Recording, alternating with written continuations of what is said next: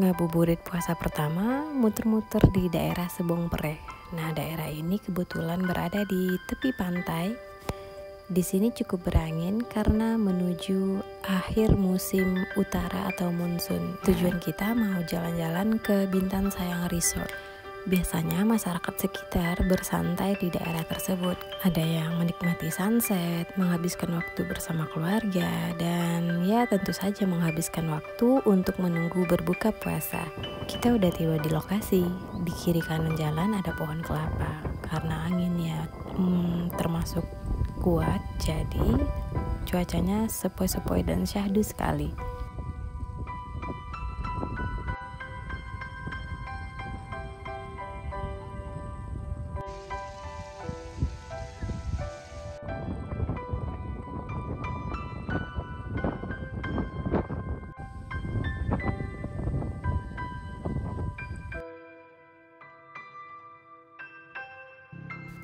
Tidak lupa kami menyambangi rumahnya Bibi atau biasa kami bilang Mo. Rumahnya terkesan vintage, unik dan seperti rumah-rumah adat Melayu pada umumnya.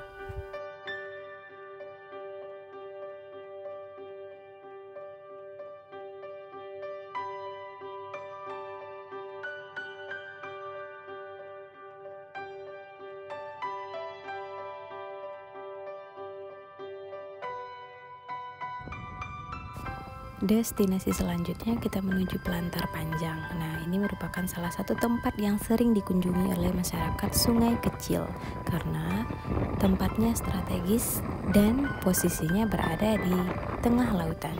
Jadi, banyak orang yang memancing, menghabiskan waktu sore, menunggu senja dan ngabuburit di sini.